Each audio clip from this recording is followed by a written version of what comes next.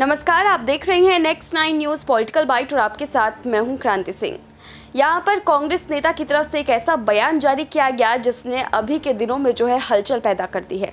देखिए, सबसे पहले तो हम आपको बता दें कि राहुल गांधी की सदस्यता रद्द होने के साथ ही उनके चुनाव रैली, वहाँ पर चुनावों में जैसे वो नामांकन भरते थे या फिर चुनाव लड़ते थे, उन सब चीज़ों पर भी रोक लग चुकी है।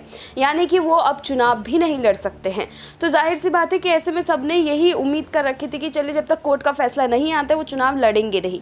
लेकिन कांग्रेस नेता का एक ऐसा बयान सामने आया जिसमें उन्होंने ये दावा किया है कि राहुल गांधी चुनाव लड़ेंगे 2024 में।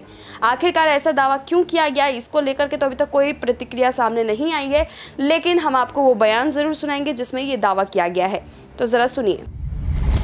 2024 में भी ऐसा ही राहुल गांधी भी शपथ लेंगे देखिए ऐसा आपको बता दें ये आ, जो राहुल जी की सोच है कि पूरे देश में मोहब्बत की दुकान खुलनी चाहिए उसकी शुरुआत आज अमेठी में जायस ने कर दिया है मनीषा जी को चुनाव जिता के। और निश्चित तौर से राहुल जी 2024 में यहाँ सांसद के रूप में मोहब्बत की दुकान पूरे देश की जो उनका उनकी सोच है वो मीठी में होने वाली है 2024 में। और राहुल गांधी निश्चित तौर से ये शुरुआत मनीषा जी ने किया है।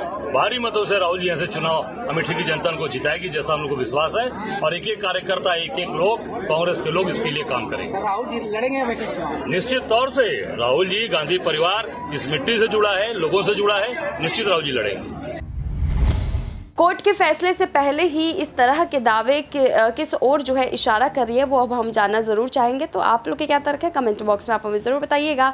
अभी के लिए बस इतना ही। देश तो दुनिया तमाम बड़ी खबरों के लिए देखते रहिए next time news political bite.